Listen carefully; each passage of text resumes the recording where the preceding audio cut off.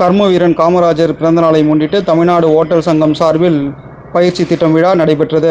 கர்ம வீரன் காமராஜர் பிறந்தநாளை முன்னிட்டு தமிழ்நாடு ஓட்டல் மற்றும் கிளப் உரிமையாளர்கள் சங்கம் மற்றும் பென்ஸ் தூண்டு அறக்கட்டளையும் இணைந்து சென்னை அண்ணா சாலையில் உள்ள ராயலா டவரில் பென்ஸ் வர்த்தக மையத்தில் அறக்கட்டளையின் தலைவர் பென்ஸ் தலைமையில் பென்ஸ் இலவச கல்வி பயிற்சி திட்டம் அறிமுக விழா நடைபெற்றது.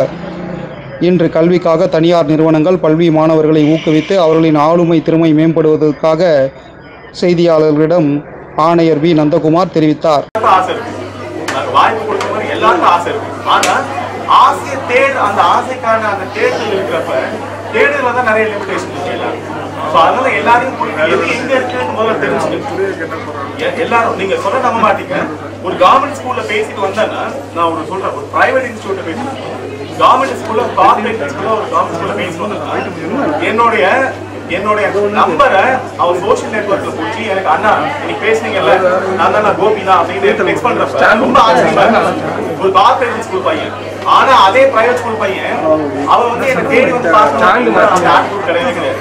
கவர்மெண்ட் ஸ்கூல் பசங்களுக்கு அவ்வளோ இன்ட்ரெஸ்ட் இருக்கு. ஆனா அவங்களுக்கு என்னன்னா எல்லாரும் அவங்க நினைச்சிட்டு இருக்காங்க நான் கவர்மெண்ட் ஸ்கூல்ல படிக்க எனக்கு பெரிய வாய்ப்பு இருக்குமாங்க இங்க பொறுத்த வரைக்கும் ஒரு ஒரு சாதாரண மாணவருக்கு எல்லா போட்டி தேர்வுகளும் அவங்க பர்சன்டேஜ் தான் கேட்கறது சாதாரண ஃபிஃப்டி பர்சன்டேஜ் தான் எல்லாருக்கும் வச்சிருக்காங்க. சரிங்களா?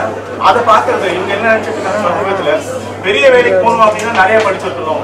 பெரிய இடத்துல படிச்சிருக்கணும்.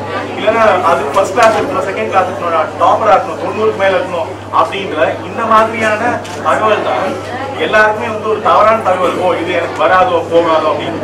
அது வரைக்கும் நிறைய நிறைய ந- நிறைய வந்து தப்பான அபிப்பிராயங்களும் கண்ணோட்டங்களும் நமக்கு இருந்துட்டே இருக்கு. நாம அந்த தனி மனிதன் பார்த்து தேடாத வரைக்கும் இந்த விஷயங்களுக்கு அவங்க அவங்களுக்கு தீர்வு வராது. சார் தேடல் ஆளுமை எல்லாம் okay sir. Rasappalli Ambedkar arts and science காலேஜில் அவங்களோட பேசிக் நீட்ஸ் இல்லை. அதாவது அவங்க பேசிக் டாய்லெட் கூட கிடையாது. அவங்க டாய்லெட் தேடுவாங்களா இல்லை தேடுவாங்களா? இதே எஸ்ஆர் யூனிவர்சிட்டியில் ஃப்ரீ வைஃபை மேக் ஐவர்ஸ் தேடுறவங்களுக்கும் இவங்களும் எப்படி ஒன்றா போட்டி போட முடியும்? அந்த தகுதி எப்படி போக முடியும்? ஸோ இதை பேலன்ஸ் பண்ண கவர்மெண்ட் என்னென்ன ஸ்டெப்ஸ் எடுத்தாங்க? See, நீங்க நீங்க ஒரு ஆளுமை நான் தான் அவர் சொன்னார்ல ஆளுமை ஆளுமை சி இன்னைக்கு பெரிய ஆப்பர்ச்சுனிட்டியே நீங்க நைன்டில இருந்து ஹண்ட்ரட் போனது இல்ல சாதனை அப்படின்னு புரியுதா? ஜீரோல இருந்து ஜீரோல இருந்து நீங்க 50 வந்தாலே பெரிய சாதனை. இன்னைக்கு சமுதாயம் எப்படி பார்க்குதுன்னா 90 ல இருந்து ஹண்ட்ரட் போறவனு யாரும் பார்க்கறது இல்ல ஜீரோல இருந்து அவர் நாற்பது ஐம்பது வந்தா கூட நல்லா ஞாபகம் என்னுடைய ஆபீஸ்ல ஒரு பையன் ஆர்ஃபன் ஆக்சுவலா அந்த பையன் படிக்கிறதுக்கான இல்லையா ஸ்கூல் ட்ராப் அவுட் ஆக்சுவலா. வந்தப்ப நான் சொன்னேன் நீ வந்து என்ன என்ஐஓஎஸ் இருக்கு national institute of open school யாருக்கா தெரியுமான்னு பார்த்தா நான் ஸ்கூல் போகாம எப்போ வேணா எக்ஸாம் எழுதிக்கலாம்.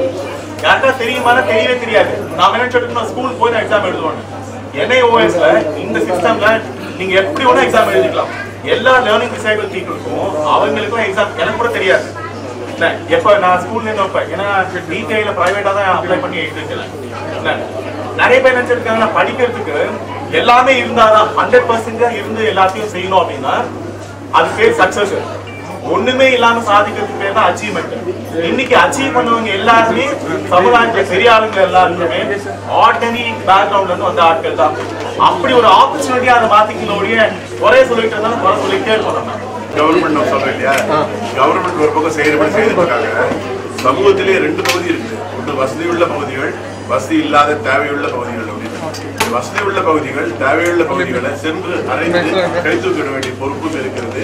அந்த போன்ற ஒரு காரியம் தான் இன்றைய தினம் நாம் பார்த்துக் கொண்டிருக்கிறோம் என்று நினைக்கிறோம் இதுபோல வசதி இல்லாதவங்க நிறைய பேரை ரீச் அவுட் பண்ணி நாம தூக்கி விடுற பொறுப்பு கடமையும் நமக்கும் இருக்குது. ஏன்னா மாணவர்களுக்கு இந்த கல்வி திட்டம் வந்து இலவச கல்வி திட்டம் இந்த பெண் அறக்கட்டளை என்ன ஏற்படுத்தணும்னு நினைக்கிறதுன்னு பாத்தீங்கன்னா வெறும் மார்க் மட்டும் இல்ல பேப்பர்ல அந்த மார்க் வந்து அவங்க ஆளுமையிலும் அவங்களுக்கு மார்க் வேணும்.